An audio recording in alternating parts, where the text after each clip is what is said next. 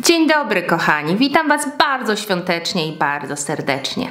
Jak możecie się zorientować, ze mną jest gitara i ukulele. Co one tu robią, za chwilę Wam powiem. Jak wiecie, siódmy festiwal piosenki gitarowej zaliczył ogromny sukces. Nie spodziewaliśmy się tyle zgłoszeń i nie spodziewaliśmy się tylu fantastycznych zgłoszeń. Nagrody już trafiły do laureatów, ale jeden z nich, a Adam postanowił swoją przeznaczyć na cel charytatywny.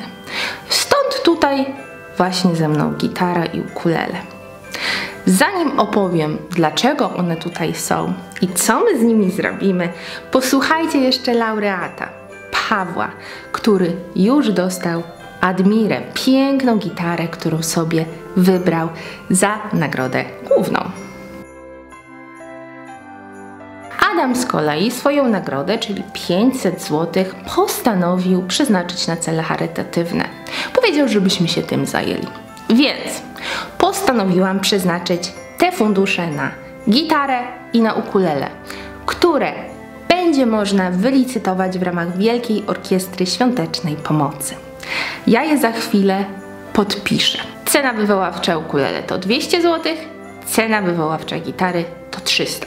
Są to instrumenty typowo dla początkujących. Nie spodziewajcie się fajerwerków, ale to są bardzo solidne instrumenty na początek. Dodatkowo do tych instrumentów załączę Wam kwartalnik wschód, w którym jest wywiad ze mną. Uwaga. Jest to czasopismo dystrybuowane tylko w powiecie włodawskim, z tego co wiem, więc gratka, albowiem jest to pierwszy wywiad ze mną, mam nadzieję, że nie ostatni.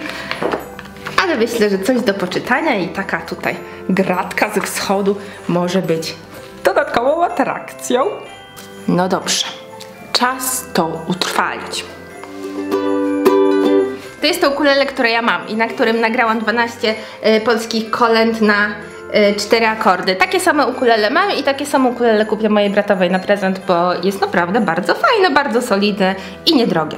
Więc teraz je podpiszę. Złotym podpisane, widać? Widać.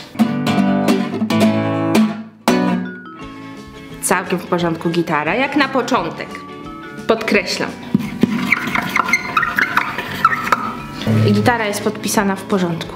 Jest. I nieustannie zachęcam Was do muzykowania, do grania, do dzielenia się swoją muzyczną pasją. Widzimy się już wkrótce.